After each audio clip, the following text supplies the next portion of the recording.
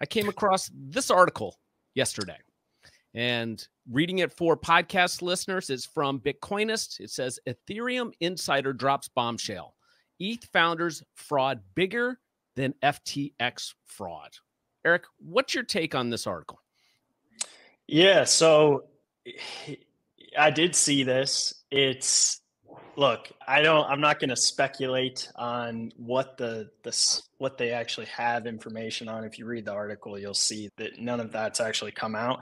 What I'll say is this though, and I think this is really important to understand for those that are trying to learn about the crypto space in general.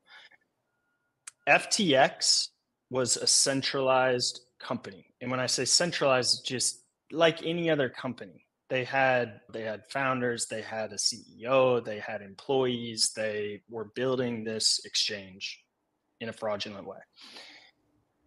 That's ftx ethereum started off as more it started off as somewhat centralized where it was a smaller group of people building out the initial phase of this blockchain and over time has grown to become very decentralized. Ethereum's not a company, it's a network. With that said, there's many different people that are not only developing on top of Ethereum, but also validating the blockchain all around the globe.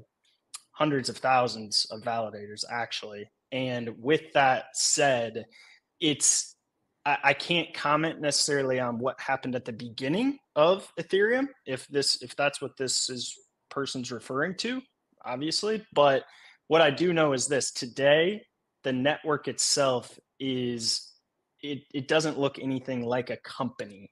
It's independent people that are building on it and using it all around the world.